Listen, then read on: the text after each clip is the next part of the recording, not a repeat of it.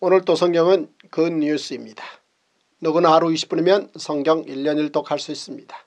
누구나 세상 예화 없이도 성경 이야기 충분히 재미있게 할 수 있습니다. 성경은 대충대충 공부할 책이 아닙니다. 성경은 예화주의, 요절주의, 권별주의를 극복하고 전체를 통으로 공부해야 할 유일한 책입니다. 먼저 오늘의 굿뉴스 신명기 18장에서 21장의 통습 5가지 포인트입니다.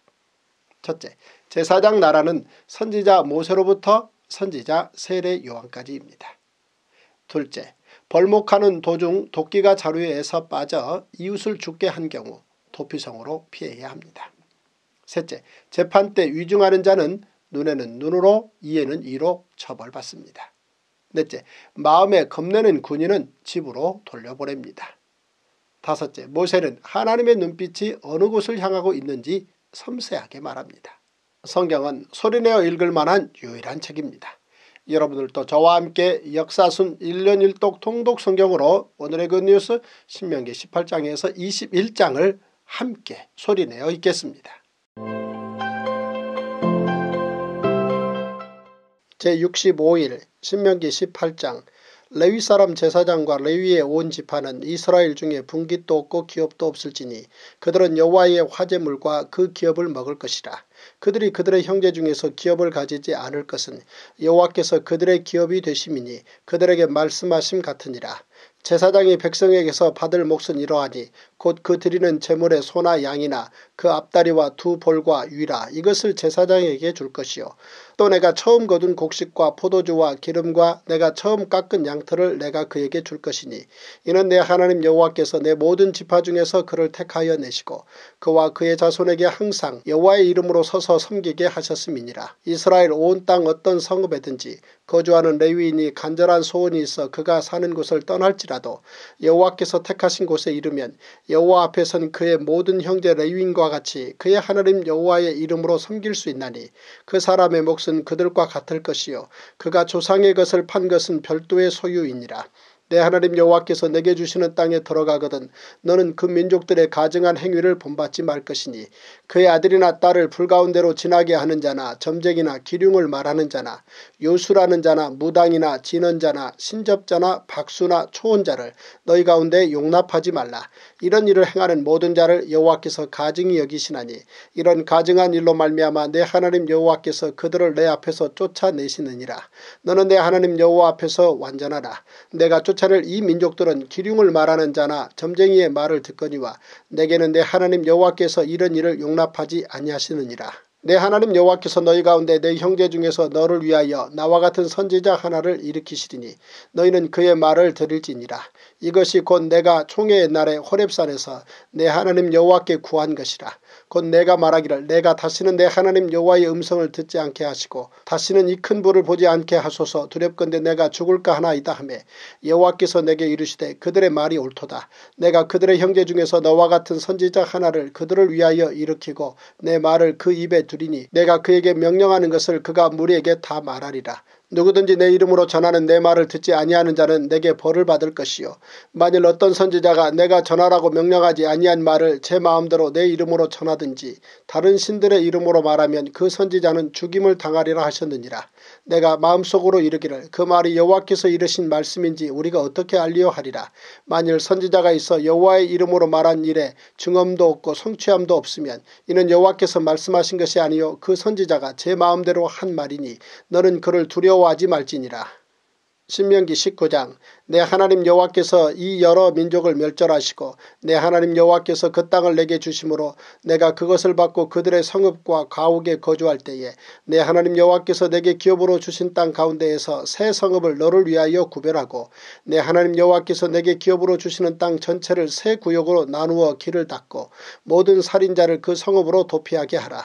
살인자가 그리로 도피하여 살만한 경우는 이러하니 곧 누구든지 본래 원한이 없이 부지 중에 그의 이웃을 죽인 일 가령 사람이 그 이웃과 함께 벌목하러 삼림에 들어가서 손에 도끼를 들고 벌목하려고 찍을 때에 도끼가 자루에서 빠져 그의 이웃을 맞춰 그를 죽게 함과 같은 것이라. 이런 사람은 그 성읍 중 하나로 도피하여 생명을 보존할 것이니라. 그 사람이 그에게 본래 원한이 없으니 죽이기에 합당하지 아니하나 두렵건대 그 피를 보복하는 자의 마음이 복수심에 불타서 살인자를 뒤쫓는데 그 가는 길이 멀면 그를 따라잡아 죽일까 하노라. 그러므로 내가 내게 명령하기를 새 성읍을 너를 위하여 구별하라 하노라.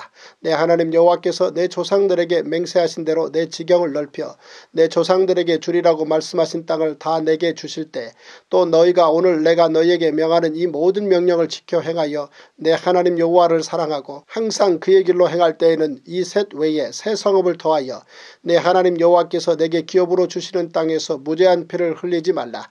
이같이 하면 그의 피가 내게로 돌아가지 아니하리라. 그러나 만일 어떤 사람이 그의 이웃을 미워하여 엎드려 그를 기다리다가 일어나 상처를 입혀 죽게 하고 이 한 성읍으로 도피하면 그 본 성읍 장로들이 사람을 보내어 그를 거기서 잡아다가 보복자의 손에 넘겨 죽이게 할 것이라. 내 눈이 그를 극률이 여기지 말고 무죄한 피를 흘린 죄를 이스라엘에서 제하라. 그래야면 내게 복이 있으리라. 내 하나님 여호와께서 내게 주어 차지하게 하시는 땅 곧 내 소유가 된 기업의 땅에서 조상이 정한 내 이웃의 경계표를 옮기지 말지니라. 사람의 모든 악에 관하여 또한 모든 죄에 관하여는 한 증인으로만 정할 것이 아니요.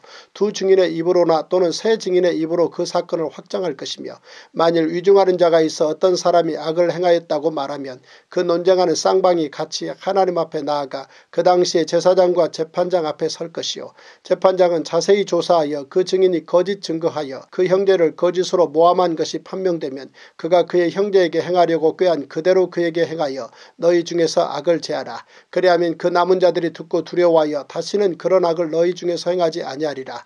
내 눈이 극률이 여기지 말라. 생명에는 생명으로 눈에는 눈으로 이에는 이로 손에는 손으로 발에는 발로이니라. 신명기 20장 내가 나가서 적군과 싸우려 할 때에 말과 병거와 백성이 너보다 많음을 볼지라도 그들을 두려워하지 말라. 애굽 땅에서 너를 인도하여 내신 내 하나님 여호와께서 너와 함께 하시느니라. 너희가 싸울 곳에 가까이 가면 제사장은 백성에게 나아가서 구하여 그들에게 말하여 이르기를 이스라엘아 들으라. 너희가 오늘 너희의 대적과 싸우려고 나왔으니 마음에 겁내지 말며 두려워하지 말며 떨지 말며 그들로 말미암아 놀라지 말라. 너희 하나님 여호와는 너희와 함께 행하시며 너희를 위하여 너희 적 군과 싸우시고 구원하실 것이라 할 것이며 책임자들은 백성에게 말하여 이르기를 새 집을 건축하고 낙성식을 행하지 못한 자가 있느냐 그는 집으로 돌아갈지니 전사하면 타인이 낙성식을 행할까 하노라. 포도원을 만들고 그 과실을 먹지 못한 자가 있느냐 그는 집으로 돌아갈지니 전사하면 타인이 그 과실을 먹을까 하노라.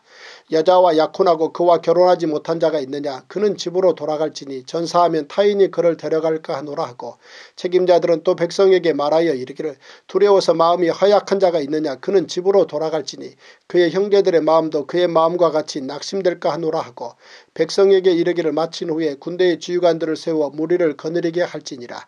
내가 어떤 성읍으로 나아가서 치려할 때에는 그 성읍에 먼저 화평을 선언하라. 그 성읍이 만일 화평하기로 회답하고 너를 향하여 성문을 열거든 그 모든 주민들에게 내게 조공을 바치고 너를 섬기게 할 것이요.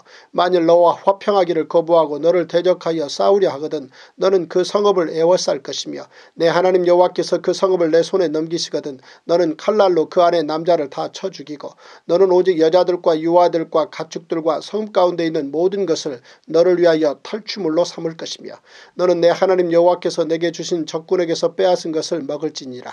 네가 네게서 멀리 떠난 성읍들 곧 이 민족들에게 속하지 아니한 성읍들에게는 이같이 행하려니와 오직 네 하나님 여호와께서 네게 기업으로 주시는 이 민족들의 성읍에서는 호흡이 있는 자를 하나도 살리지 말지니 곧 헷족속과 아모리 족속과 가나안 족속과 브리스 족속과 히위 족속과 여부스 족속을 네가 진멸하되 네 하나님 여호와께서 네게 명령하신 대로 하라.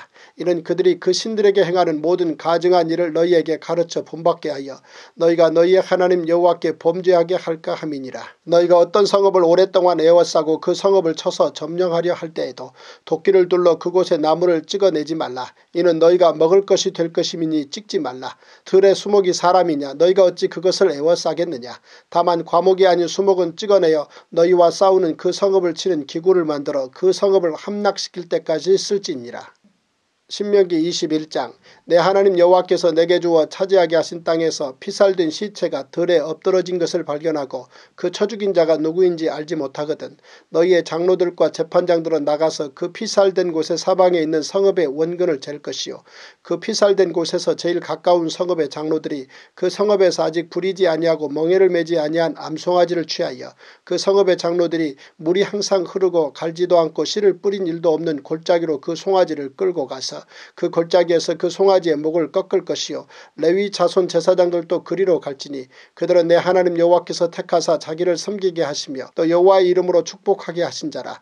모든 소송과 모든 투쟁이 그들의 말대로 판결될 것이니라 그 피살된 곳에서 제일 가까운 성읍의 모든 장로들은 그 골짜기에서 목을 꺾은 암송아지 위에 손을 씻으며 말하기를 우리의 손이 이 피를 흘리지 아니하였고 우리의 눈이 이것을 보지도 못하였나이다. 여호와여 주께서 속량하신 주의 백성 이스라엘을 사하시고 모재한 피를 주의 백성 이스라엘 중에 머물러 두지 마옵소서 하면 그 피 흘린 죄가 사함을 받으리니 너는 이와 같이 여호와께서 보시기에 정직한 일을 행하여 모재한 자의 피 흘린 죄를 너희 중에서 제할지니라. 내가 나가서 적군과 싸울 때에 내 하나님 여호와께서 그들을 내 손에 넘기심으로 내가 그들을 사로잡은 후에 내가 만일 그 포르 중에 아리따운 여자를 보고 그에게 연연하여 아내를 삼고자 하거든 그를 내 집으로 데려갈 것이요 그는 그 머리를 밀고 손톱을 베고 또 포로의 의복을 벗고 내 집에 살며 그 부모를 위하여 한 달 동안 애곡한 후에 내가 그에게로 들어가서 그의 남편이 되고 그는 내 아내가 될 것이요 그 후에 내가 그를 기뻐하지 아니하거든 그의 마음대로 가게 하고 결코 돈을 받고 팔지 말지라 내가 그를 욕보에 쓴즉 종으로 여기지 말지니라 어떤 사람이 두 아내를 두었는데 하나는 사랑을 받고 하나는 미움을 받다가 그 사랑을 받는 자와 미움을 받는 자가 둘 다 아들을 낳았다 하자. 그 미움을 받는 자의 아들이 장자이면 자기의 소유를 그의 아들들에게 기업으로 나누는 날에 그 사랑을 받는 자의 아들을 장자로 삼아 참장자 곧 미움을 받는 자의 아들보다 앞세우지 말고 반드시 그 미움을 받는 자의 아들을 장자로 인정하여 자기의 소유에서 그에게는 두 몫을 줄 것이니 그는 자기의 기력의 시작이라 장자의 권리가 그에게 있음이니라. 사람 에게 완악하고 폐역한 아들이 있어 그의 아버지의 말이나 그 어머니의 말을 순종하지 아니하고 부모가 징계하여도 순종하지 아니하거든 그의 부모가 그를 끌고 성문에 이르러 그 성읍 장로들에게 나아가서 그 성읍 장로들에게 말하기를 우리의 이 자식은 완악하고 폐역하여 우리 말을 듣지 아니하고 방탕하며 술에 잠긴 자라 하면 그 성읍의 모든 사람들이 그를 돌로 쳐 죽일지니 이같이 내가 너희 중에서 악을 제하라 그리하면 온 이스라엘이 듣고 두려워하리라 사람이 만일 죽을 죄를 범함으로 내가 그를 죽여 나무 위에 달거든 그 시체를 나무 위에 밤새도록 두지 말고 그날에 장사하여 내 하나님 여호와께서 내게 기업으로 주시는 땅을 더럽히지 말라. 나무에 달린 자는 하나님께 저주를 받았음이니라. 오늘 우리는 신명기 18장에서 21장을 함께 읽었습니다. 여호와의 군대 이스라엘 군인들이 전쟁에 임하는 자세는 하나님께서 함께 하심을 믿는 것입니다. 그런데 신명기에 보면 두려워서 마음이 허약한 자들은 집으로 돌아가라고 합니다. 왜냐하면 같이 하는 형제들의 마음이 낙심될 수 있기 때문입니다. 모세는 이미 출애굽할 때 홍해 길에서 하나님께서 직접 싸우신 것을 보았습니다. 그래서 더 믿음을 갖고 말합니다. 이스라엘아 들으라 너희가 오늘 너희의 대적과 싸우려고 나왔으니 마음에 겁내지 말며 두려워하지 말며 떨지 말며 그들로 말미암아 놀라지 말라. 너희 하나님 여호와는 너희와 함께 행하시며 너희를 위하여 너희 적군과 싸우시고 구원하실 것이라. 하나님을 향한 모세의 믿음과 용기 전쟁의 선봉에 선 제사장들의 믿음과 용기를 오늘 우리도 삶의 현장에서 하나님을 믿는 믿음과 용기로 힘내시기를 소망합니다. 모든 성경은 하나님의 감동으로 된 것으로 교훈과 책망과 바르게함과 의로 교육하기에 유익합니다. 성경 한 권이면 충분합니다.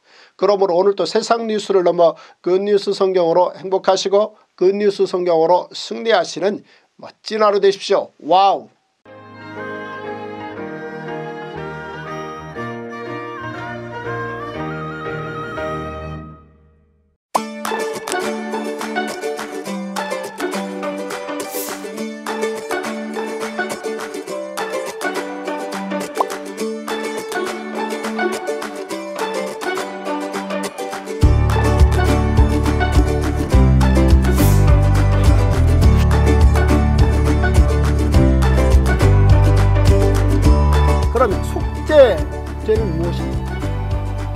다음 용서를 받고 그 다음에 회복이 되는 이런 놀라운 제사가 바로 이 속죄제예요.